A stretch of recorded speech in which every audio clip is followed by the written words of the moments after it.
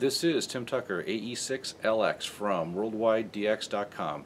I recently purchased a Jetstream Discone 25 to 1.3 megahertz antenna and today we're going to install it on the roof, so follow along.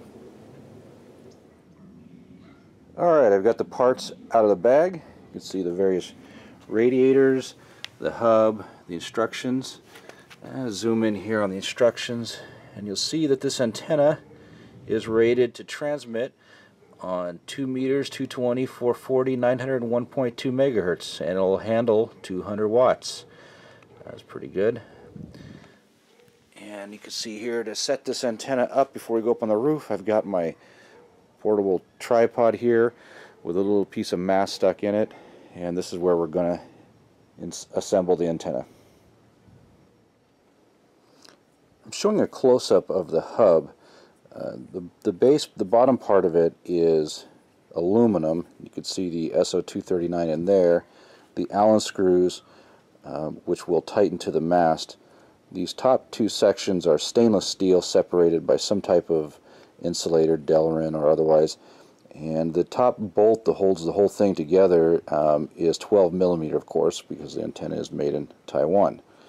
So just want to show a real quick close-up of this uh, before I start assembling the elements on it.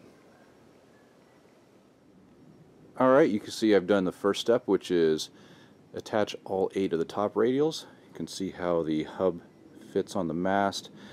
Obviously the coax would come up through the mast and attach there. And you can see kind of how it looks from the top. Pretty simple, pretty straightforward.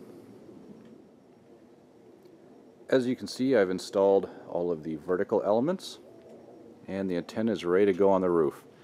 Before we do that, I want to take a moment to describe how this antenna works real briefly.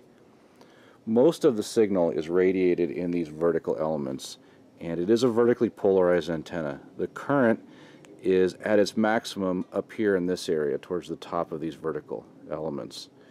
Um, the current flows in all of the same direction on these, these vertical elements. However, in the top part, the current flows in opposite directions on each element, essentially canceling out the signal up here.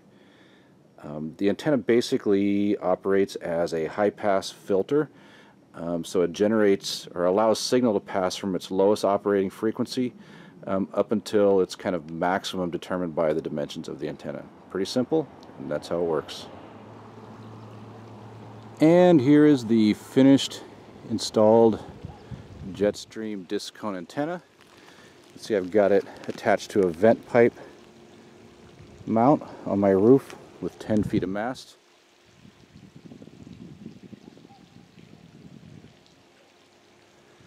And some high quality RG8, which happens to run over to a switch box uh, for my other antenna.